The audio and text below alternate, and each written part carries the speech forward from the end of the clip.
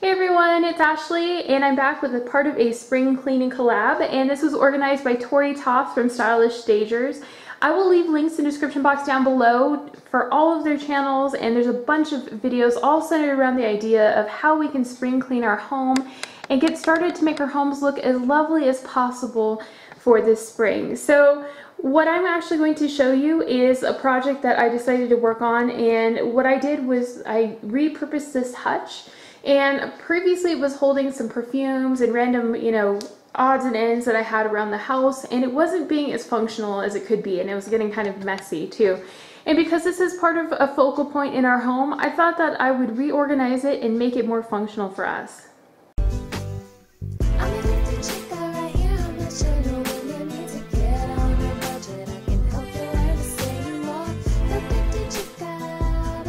So my problem area was this hutch that I found online at a public fiduciary auction. It was $65. I repainted it, repurposed it, and it had just an accumulation of a bunch of random stuff and it wasn't really serving a really good purpose. So I decided to turn it into kind of a mini library where I can hold some of our most used books or current books that we're reading. So I went ahead and picked out different books um, that the kids use, that my husband uses, I use, some books from school, that sort of thing. And I put it in our home so that this is more of a focal point and it's just easy for us to use. So how I solved it is I decided to group everything in different ways and I have three separate tips that you can use so that you can create your own kind of bookcase arrangement and have it look, you know, as functional as possible and beautiful at the same time.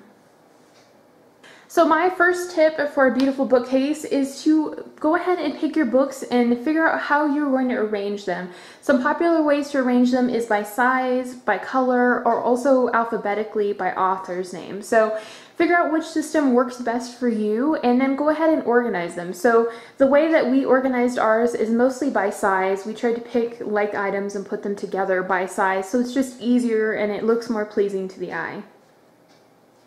And my second tip for you guys is to make small groups by type. This just makes it so much easier to keep it organized. On the top shelf you can see that I have a small grouping of some books that I have for a literature course and it just makes it easy for me to reference them and to keep them organized because they're all grouped together.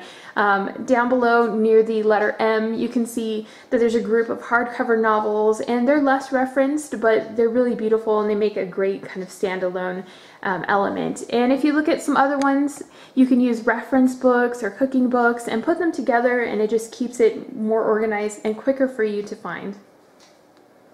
And the third tip that I wanted to share is to use special decorative elements in your collection here. And I have separating my daughter's books and my son's book. Uh, one of my daughter's favorite little pieces that she found at an antique store. It makes a really great bookend. And we also have some light up letters and some crystals and a little owl that I found at a thrift store and a jewelry box that my mother gave me and just some other personal cute little elements. I made a little basket there and I made um, a little picture frame with some letters and stuff. So you can choose little elements that mean something to you and it makes your whole collection a lot more attractive. So I hope these little spring cleaning tips help you to have a beautiful organized bookshelf. And if you have any questions, feel free to leave them in the comment section down below. Make sure to check out all the other links of the other channels and there's some really great ideas coming out of this group. I just wanted to say thanks so much for watching and I hope you guys have a great day. Bye!